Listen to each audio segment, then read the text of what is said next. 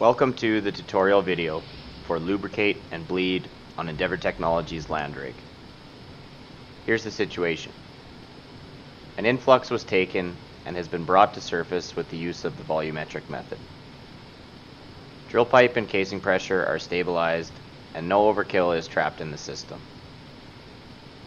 There is a ported float installed in the drill string which allows us to monitor bottom hole pressure using the drill pipe method, where bottom hole pressure equals shut-in drill pipe pressure plus drill string hydrostatic pressure plus overkill.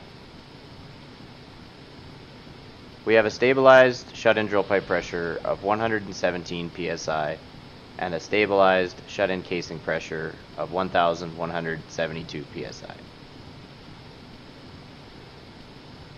The lubricate and bleed procedure is a method of gas lubrication.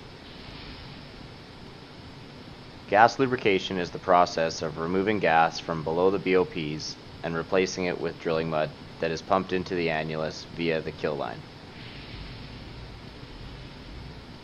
This process can be used to lower casing and drill pipe pressures if kill density fluid is used to replace the fluid that is allowed to exit the annulus.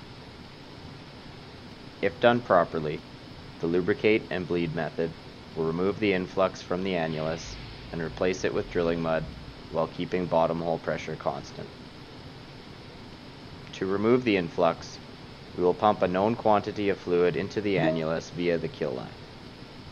This will increase the amount of pressure in the well and therefore increase bottom hole pressure as well. After the influx has migrated through the volume of mud that we have pumped into the annulus, we can allow some of the influx to be bled through the choke returning bottom hole pressure to its original value. Or we have the option to trap in a small amount of overkill.